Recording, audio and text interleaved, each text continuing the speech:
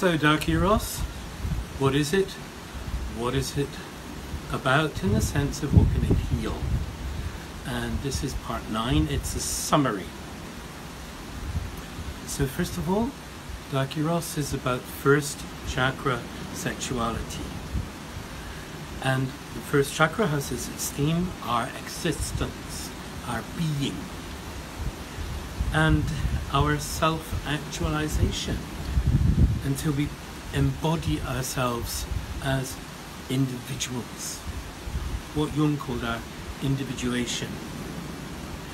And it sits in the first chakra, in our perineum, and as we let it expand and as we develop it, it comes down into the legs, into the energy of here I stand, just like Martin Luther said.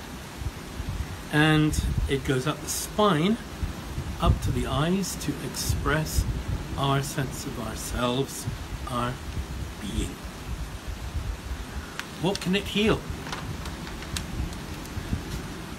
Well, first of all,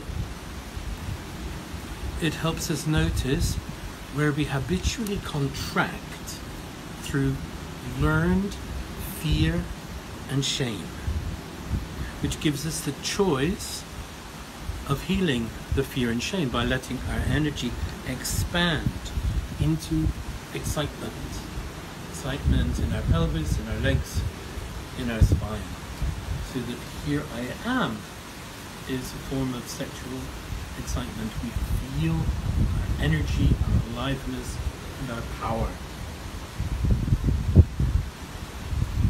Second point is it helps us notice our unconscious sense of guilt, or its modern version would be the feeling of not being good enough. So stop being in the wish not to be seen, not to be noticed, which goes with guilt or the feeling of not being good enough. And to generate the desire to be seen as who we are and to be recognized as who we are, even in our incompleteness. And that might take the form of punishment, energetic, erotic. Third thing that can be healed,